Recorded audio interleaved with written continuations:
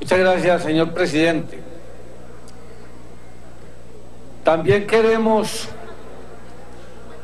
dejar una constancia y hacer una denuncia pública,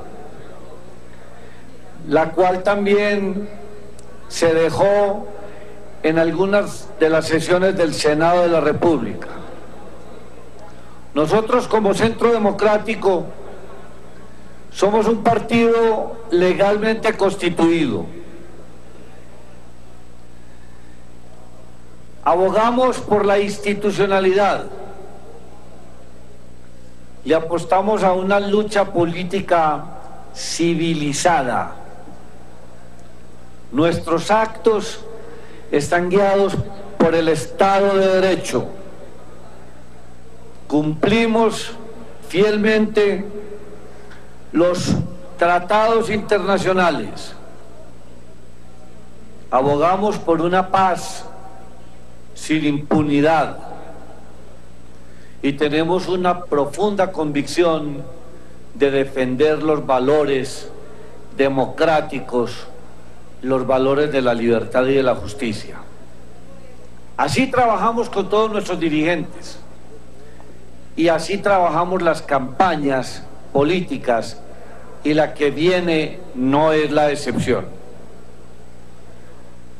Por esa razón creemos que la libertad de expresión es un valor democrático, es un pilar fundamental para la democracia y no puede llevarnos a que las diferencias de opinión puedan ser vistas sobre todo cuando se den con relación a las conversaciones de La Habana, no puedan ser vistas como opiniones hostiles a la paz.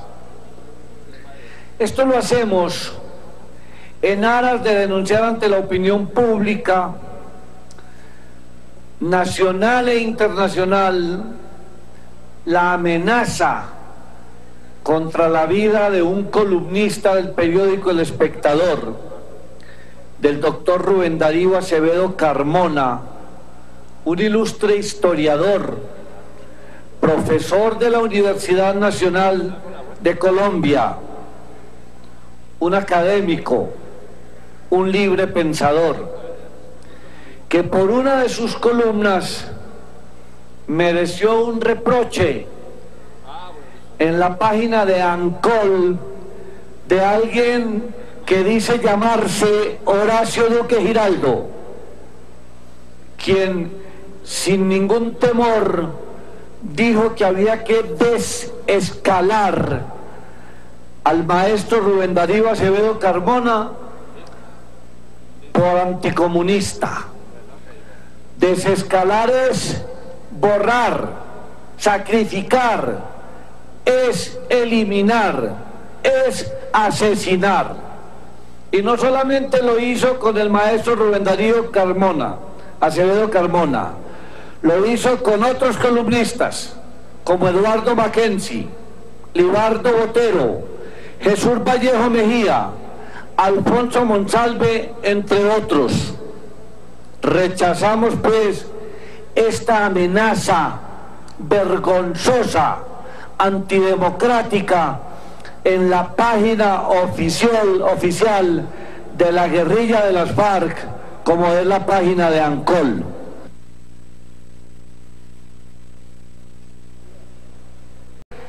Oficiales en Colombia, Fiscalía y a la Unidad Nacional de Protección, que rodea de todas las garantías, al doctor Rubén Darío Acevedo Carmona, a su familia y a todos los académicos que estén en peligro de este término desescalar por anticomunistas.